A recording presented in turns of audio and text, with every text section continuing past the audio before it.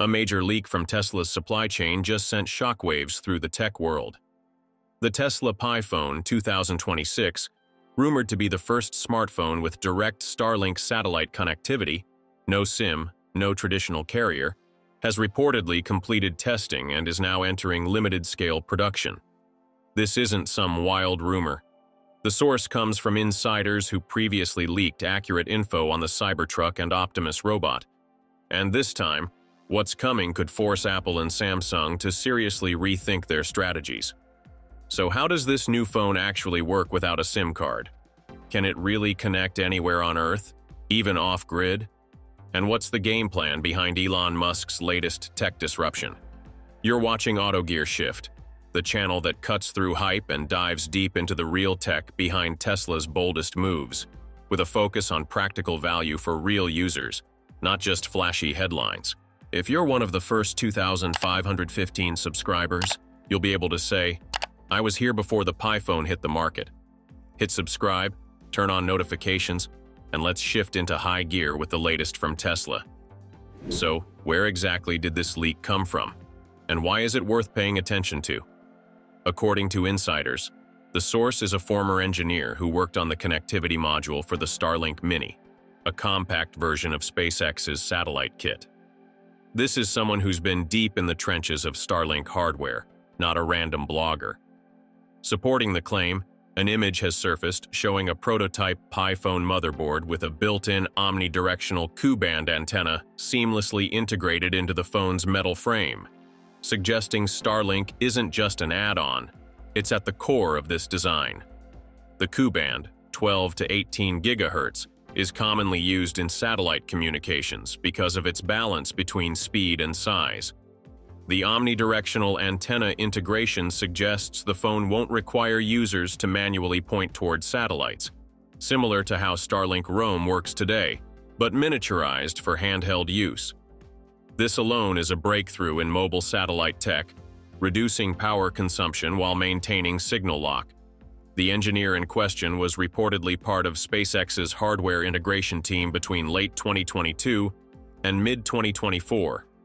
During that time, the team completed over 200 successful low-orbit Starlink mini deployments. With expertise in miniaturized satellite architecture, this source brings rare credibility to the Pi phone's satellite-first design. The biggest change here is this. Starlink connectivity is real this time.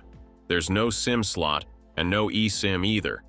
The Pi phone would communicate directly with LEO satellites, bypassing traditional mobile carriers entirely. Based on internal benchmarks, users could expect download speeds between 70 to 120 megabits per second, with latency under 40 milliseconds, effectively on par with strong 4G in urban settings. And because it works anywhere with a clear sky, mountains, islands, deserts, this is a game changer for workers in remote fields, outdoor enthusiasts, or anyone tired of dead zones. SpaceX currently has over 6,000 Starlink satellites in low Earth orbit as of Q2 2025, and the Pi phone is expected to auto-switch between at least three satellites at once for signal redundancy.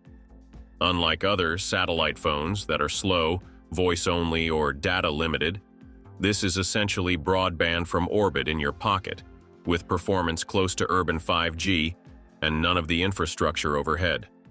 Second, the phone is designed to last, and last long. Battery specs leaked suggest a 7,000 to 8,000 mAh cell, heavily optimized by Tesla's proprietary Tesla OS.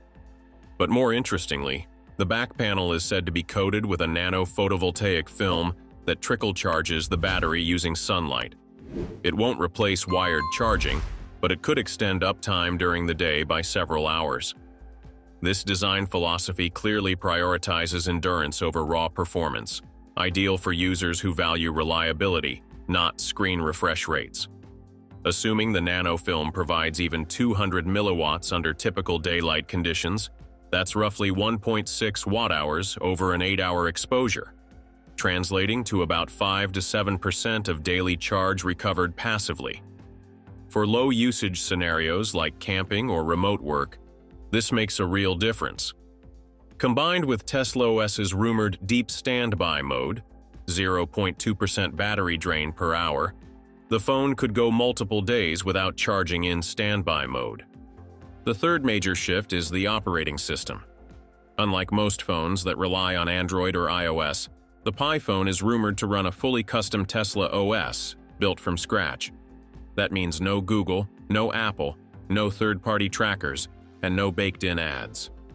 Tesla OS is said to offer deep integration with Tesla's ecosystem, unlocking your car, syncing route maps, managing charging schedules, and potentially even controlling a Tesla Optimus robot down the road. The UI is deliberately clean, with large text and simplified navigation, clearly designed for users who prefer function over flash, especially in the 45-plus age range. Leaked UI mockups suggest Tesla OS will feature Tesla ID as the core login, similar to Apple ID, and tie into Optimus control panels, wall charger diagnostics, and even solar roof management. Unlike Android Auto or CarPlay, these functions are expected to be native, not app-based. That means faster access and better power efficiency, especially over Starlink where every kilobyte counts. Why is Elon Musk doing this now? It fits his broader pattern, cut out the middlemen.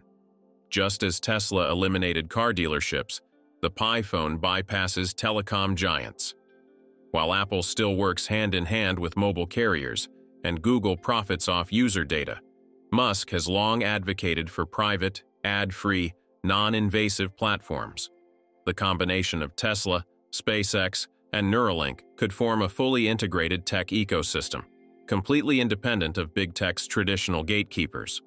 By 2026, Tesla could offer a complete vertical stack, a phone that talks to your car via Tesla OS, connects to the internet via Starlink, and one day even links to your brain via Neuralink.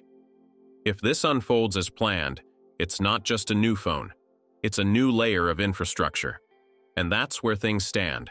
The Tesla Pi phone is no longer just a rumor. It's on the move and it could completely reshape how we stay connected, especially in places where traditional phones fail. If a smartphone really lasts three days and charges with sunlight, would you consider switching for peace of mind?